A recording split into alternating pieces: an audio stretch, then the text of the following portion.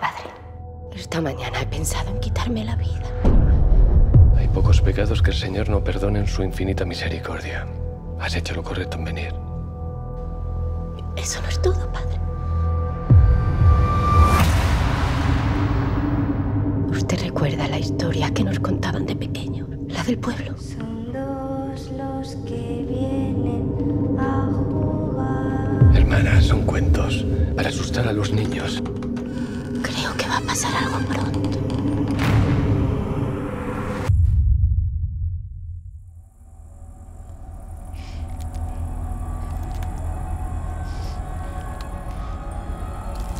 ¿Qué haces, tío? Yo no soy.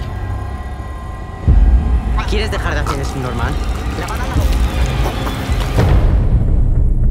¿Quién eres? ¿Tienes miedo? Cinco niños fueron atacados ayer por la noche. Hay gente que cree que la llegada de su sobrina podría estar ligada a una historia del pueblo. No es una simple nana, es una profecía. Un augurio.